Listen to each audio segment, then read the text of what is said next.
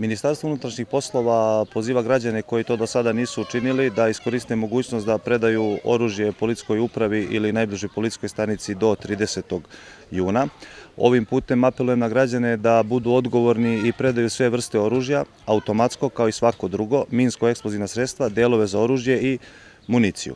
Takođe, građani osim ličnog dolaska i predaje mogu kontaktirati najbližu policijsku stanicu i pozvati policijske službenike da dođu po oružje i eksplozivne naprave i preuzmu ih bez dokazivanja porekla oružja, legitimisanja i bez krivično pravne odgovornosti. Takođe pozivamo i one građane koji nakon smrti vlasnika nisu policiji predali oružje da to urade u ovom periodu. Oružje u nelegalnom posedu građani u ovom periodu bez ikakvih posledica mogu predati svakog dana. Od početka akcije na nivou policijske uprave Kraljevo predato je više od 1600 komada oružja i više od 122.000 komada municije